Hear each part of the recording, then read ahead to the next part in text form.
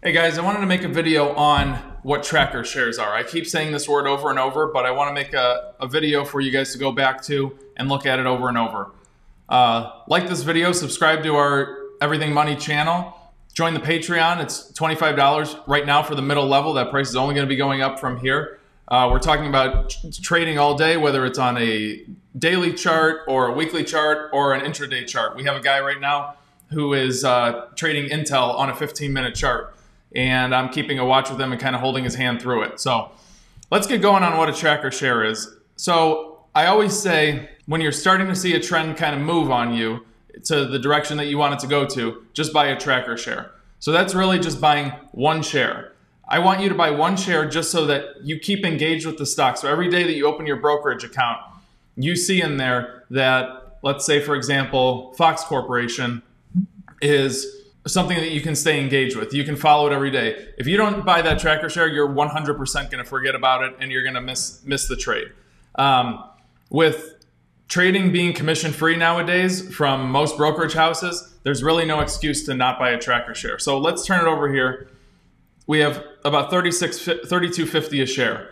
Worst case scenario, you lose $32.50 if Fox Corporation goes to zero. Likely not going to happen but it just keeps you engaged. You you you might lose two or three dollars, four or five dollars here and there, but more times than not, tracker shares are going to help you. So instead of coming in and saying, okay, um, my trend is starting to move up on me a little bit here, I'm going to go ahead and put in a thousand dollars worth of stock. Well, your trend is all the way at the bottom.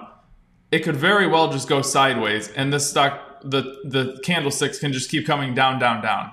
Instead, let's buy one share right here and see what happens, excuse me, over the next week or two, three weeks, doesn't really matter, until we get up here into the sweet spot. So we start, we can have one share, we move into the sweet spot. Now, when I start seeing my candlesticks starting to turn green and engulfing each other like this, that's when I go ahead and add more shares to it.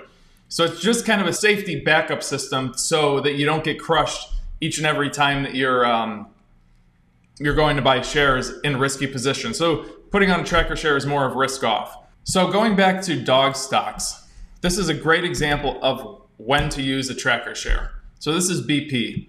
Remember, a dog stock is a stock that sits on the bottom of its trend and it just keeps trending and going sideways, sideways, sideways along the bottom of its trend um, window. And you can see as that trend keeps going sideways, your stock price keeps dropping and dropping.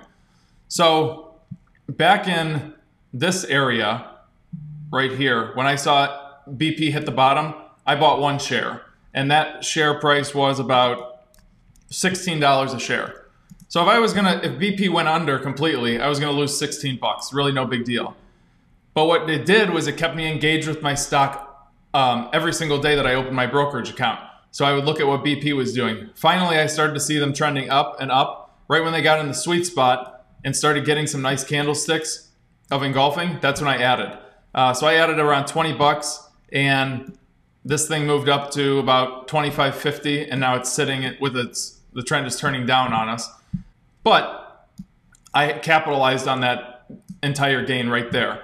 Uh, now I didn't capitalize on this part, but to me, that risk is not worth it. I would rather have more confidence that I'm going to lock in those lock in those gains when I have a nice trend going and my candlesticks are working for me. So right now on BP, if you want to, we have a trend moving in the down direction. And today is uh, January 26th.